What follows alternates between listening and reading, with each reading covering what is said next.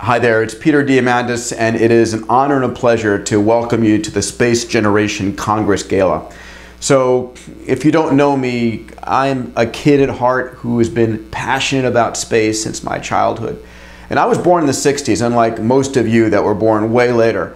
But I grew up passionate about Apollo, about Star Trek, and I dedicated my life to helping to inspire and guide the transformation of humanity on and off the earth. And I've started about 17 companies, the majority of which have been in the space arena.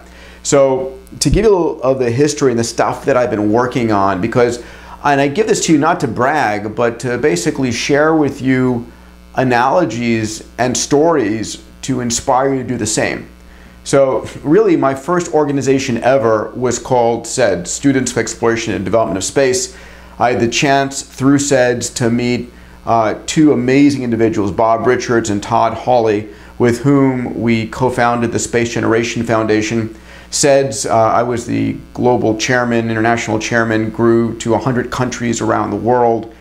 And it was through SEDS and SpaceGen that in uh, 1982, I went to Unispace, Unispace 2. And there I met Arthur C. Clarke along with Todd and Bob and met this amazing guy, the, you know, the author of 2001 A Space Odyssey uh, and of the most amazing space related books. And Arthur became a good friend, became Uncle Arthur, and ultimately became an advisor to SEDS and then became the chancellor of the International Space University. And Todd, Bob, and I co founded ISU, led it to countries around the world, to a permanent campus now in Strasbourg, France. I hope we have a whole bunch of ISU alumni in the room here or soon to be ISU alumni. From there, I had the pleasure of going to start a number of companies, a launch company called International Microspace, a company um, uh, that does zero gravity flights called Zero G, Zero Gravity Corporation, We've flown 15,000 people into zero G, including Stephen Hawking. How cool is that, right? To take a guy who's the world's expert in gravity and give him the experience of zero gravity. And then just this past year, we actually made it to the pages of Sports Illustrated, uh, flying one of the bathing suit models in the zero G. I mean, talk about juxtapositioning of the world's expert in physics. Anyway, I won't go there. But um, uh, Zero G, uh, Space Adventures, uh, co-founder of Space Adventures. So with Space Adventures, we have flown eight private clients to the International Space Station. Uh, you know, the first, Dennis Tito, spent $20 million. Uh, and most recently, we have Sarah Brightman, who's our ninth client, the world famed opera singer, uh, pop star. She's amazing. She's paying $54 million to go to ISS. Uh, most recently in the space arena, I had the pleasure to co-found with Eric Anderson and then a guy, Chris Lewicki, who's one of the top engineers on the planet. Chris ran the Spirit, Opportunity, and Phoenix missions uh, at JPL.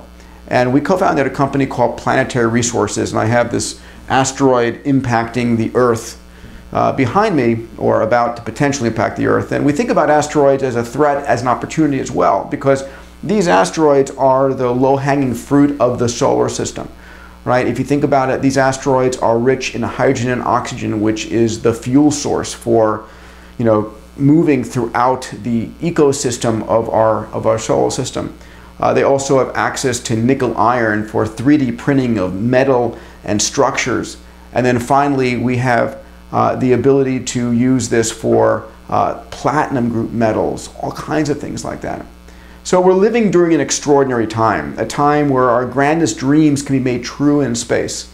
My good friend Elon Musk, who's one of our investors in different companies and on my board at X Prize, has got uh, Dragon 2, which can do a soft landing on the Earth, eventually on Mars, and he's committed to within the next 15 years taking people to Mars and back round trip for a half a million bucks. So, you know, as we reflect 15 years after the founding uh, at Unispace 3 of, uh, of SpaceGen, I want you to think about what the next 15 years are going to look like. It's a time where we're going to be mining asteroids, going to Mars. Uh, we have the Google Lunar X Prize teams uh, going to the moon at a tenth or a hundredth the price.